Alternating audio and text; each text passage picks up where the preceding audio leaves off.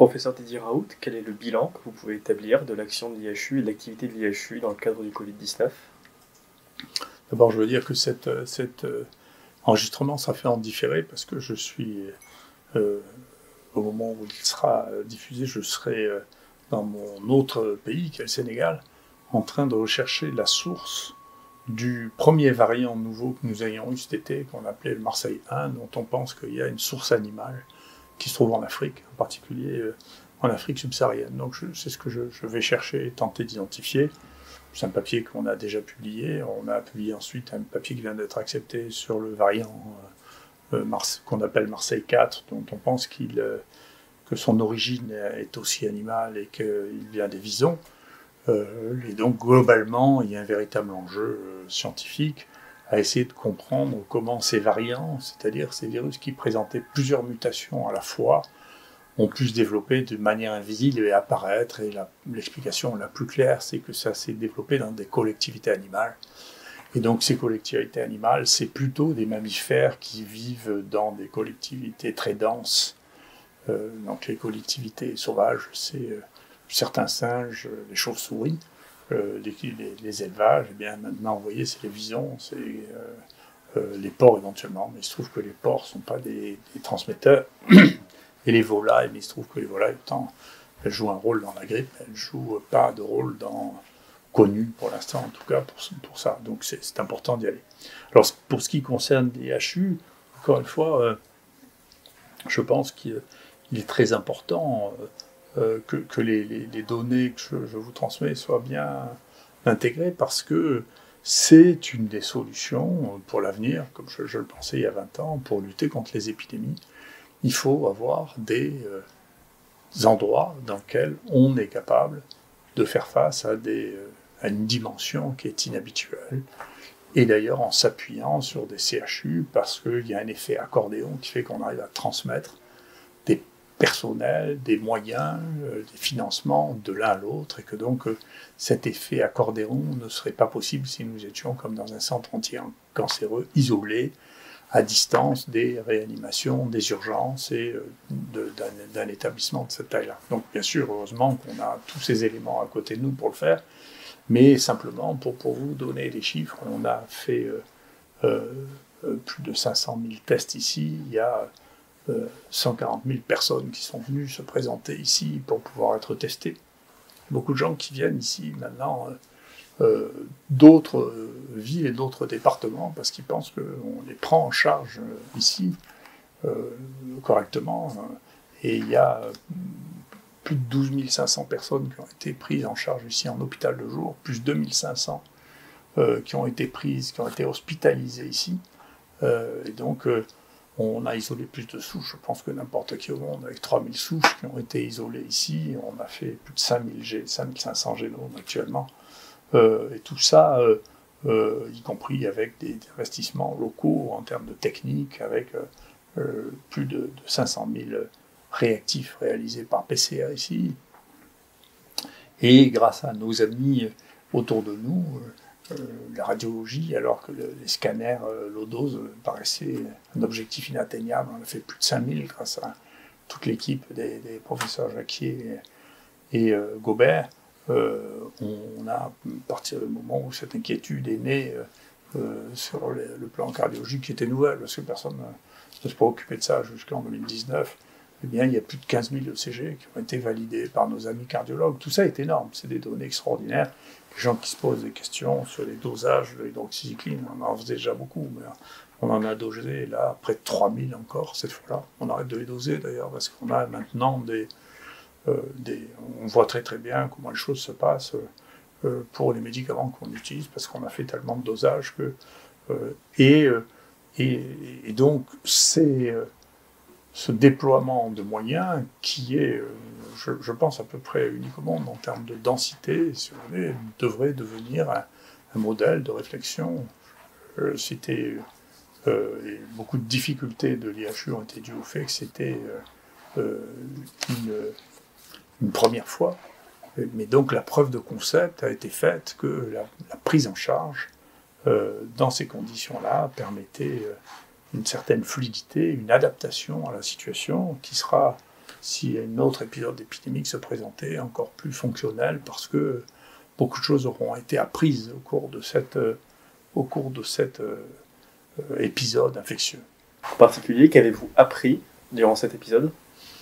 Alors, euh, bien sûr, il y a un, stade très important qui est le stade d'observation initiale, hein, qui est capital. C'est la raison pour laquelle nous, dès le départ, nous voulions tester tout le monde et observer la maladie, parce que personne ne connaissait la maladie, et donc il y a des recommandations qui ont été faites sans connaître la maladie, ce qui est une erreur. Il ne faut pas faire ça. Il faut d'abord examiner les gens, regarder ce qui se passe.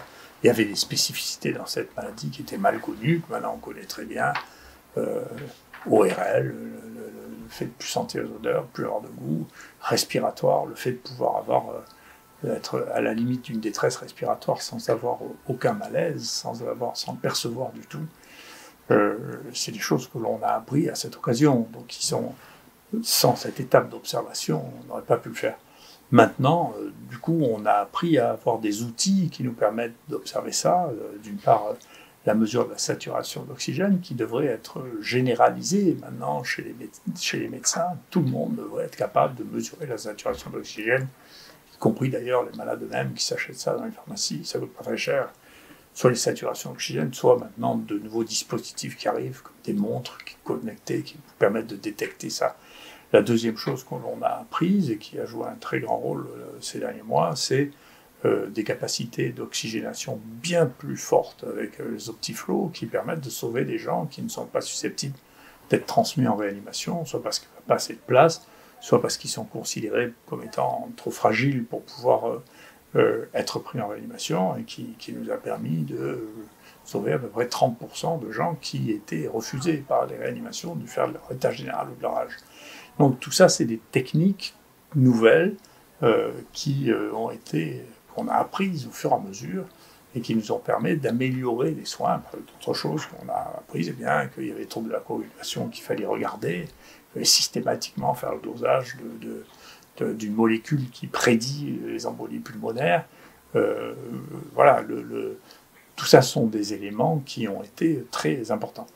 En revanche, ce qui est très intéressant, c'est de voir que les, euh, les, nouvelles, les nouveaux médicaments n'ont rien apporté dans cette maladie. C'est vraiment la conclusion, c'est-à-dire que la reine des civils ne sert à rien, est dangereux, parce que si vous donnez à des gens qui sont très peu malades et dont le risque d'aggravation est très faible, vous commencez à mettre des perfusions, que ce soit ça d'ailleurs ou les anticorps monoclonaux, vous prenez un risque qui est disproportionné avec le traitement par rapport au risque. Donc euh, ces nouveaux médicaments n'ont pas apporté de choses extraordinaires, euh, au contraire. Mais il y a eu une guerre qui a été menée contre les anciens médicaments, qui est euh, le témoin d'une évolution de la société qui est intéressante. Et que voulez-vous dire par là? Eh bien, nous étions au milieu d'une évolution assez intéressante qui est l'obsolescence généralisée. On voit bien sur le plan commercial qu'il y a une obsolescence programmée de nos téléphones, de nos ordinateurs. Au bout d'un moment, on ne peut plus les utiliser parce que les programmes sont tellement complexes que les anciens modèles ne sont plus capables de les absorber, donc vous êtes obligé de les acheter. C'est ça qu'on appelle l'obsolescence programmée. Et, donc, on a voulu, et on veut encore appliquer, je, suis très frappé de ça, l'idée de l'obsolescence des médicaments anciens, ce qui n'a pas de sens. Une molécule n'est jamais obsolète, elle est éternelle elle n'est jamais obsolète. Et au contraire, on a une situation qui est devenue complètement fantasque, c'est que les médicaments les mieux connus au monde, les moins toxiques du monde, sont, ont été considérés comme étant des poisons dangereux. Alors c'était euh, l'hydroxychloroquine avant. Vous inquiétez pas, comme cette perception concerne essentiellement l'Occident, tous les autres pays l'utilisent et continuent à l'utiliser parce que quand vous avez le choix entre prendre un médicament qui coûte rien, qui a pu être prescrit jusqu'à un milliard de personnes par an, euh, vous, en connaissez bien la toxicité. Maintenant, la même décision qui est aussi euh, euh, grotesque hein, vient d'être prise par l'Europe concernant l'ivermectine, médicament qui est aussi prescrit des milliards de fois et qui est en dose unique, en disant que c'était un médicament toxique et qu'il ne fallait pas le donner parce que ça ne coûte rien. et que ça ne rentre pas dans notre perspective de l'obsolescence programmée, c'est-à-dire de l'utilisation de médicaments qui sont anciens, qui ne coûtent rien. Donc il y a une vraie réflexion, qui n'est pas que française, hein, qui est aussi européenne, qui est aussi américaine, sur le fait de vouloir à tout prix que les vieilles molécules soient obsolescentes, que l'on paye très cher des médicaments, et euh, là-dedans, il y a effectivement euh, des groupes plus ou moins activistes. Alors, je ne sais pas si c'est du complotisme que de repérer qu'il y a des réseaux de lobby euh, qui tiennent absolument à empêcher la prescription de médicaments qui soulagent et qui ne coûtent rien y compris d'ailleurs l'homéopathie, parce que personnellement, si quelqu'un est soulagé avec l'homéopathie, moi ça me gêne pas, je m'en fiche complètement. Je ne vois pas pourquoi j'interdirais ni la vente, ni le remboursement de l'homéopathie. Euh, et donc il y a des groupes là-dedans où on voit une association entre les associations. Alors il y a une association Citizen for Science, un collectif euh, No Fake Med, et puis des gens qui ont, euh, tous les gens qui sont le plus payés dans notre monde par l'industrie pharmaceutique ont des liens qui sont non neutres entre eux, puis avec un certain nombre de journalistes, avec un certain nombre de journaux. et donc tout ça, c'est très facile à voir. Il suffit de regarder les réseaux sur Twitter, qui parle avec qui, qui communique avec qui pour voir euh, qui est qui. Et donc, euh, il y a là euh, une association et des réseaux qui se sont créés, dont l'objectif est effectivement de, de, lutter contre les, les, médicaments anciens. Et ce qui est assez intéressant, c'est que la plupart des gens que j'ai vus là-dedans n'étaient pas des scientifiques de très haut niveau et que ce, soit eux qui veuillent faire comme les inquisiteurs ce qui est euh, la connaissance et ce qui est la science. Euh, tout ça est intéressant. Euh, et il montre que nous sommes dans une situation complexe. Il faudra bien qu'à un moment les politiques s'emparent de ça, parce que je vous assure que pendant ce temps, l'Extrême-Orient court et que la reconversion des molécules anciennes, la Chine est en plein dedans, parce qu'ils ont bien compris que ce n'était pas la peine de réinventer toute la toxicité, de perdre 10 ans pour remettre au point un médicament qui est parfaitement connu, quand il marche dans une autre indication et qui coûte rien.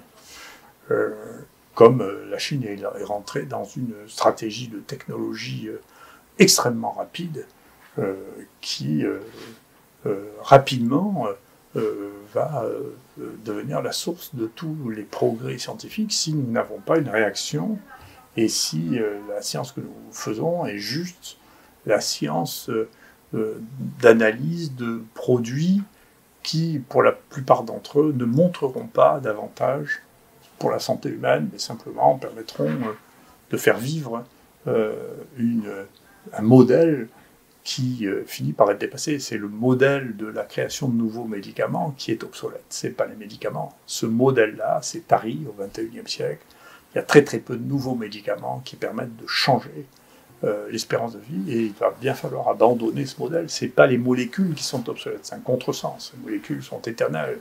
La plupart d'entre elles étaient même là avant nous.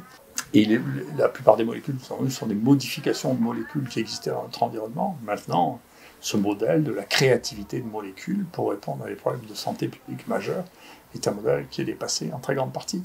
Et donc, c'est ce qu'il faut, c'est maintenant les modèles de détection précoce, les modèles de surveillance à la maison, c'est tous, les, tous ces paramètres que personne ne surveillait, c'est extrêmement important de les surveiller pour des prises en charge précoces et pour soigner les gens. Donc, il y a un vrai modèle.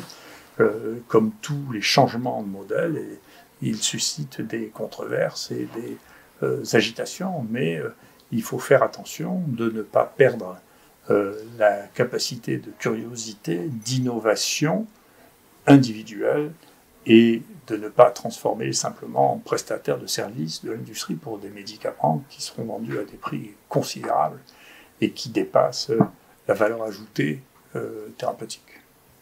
Merci beaucoup.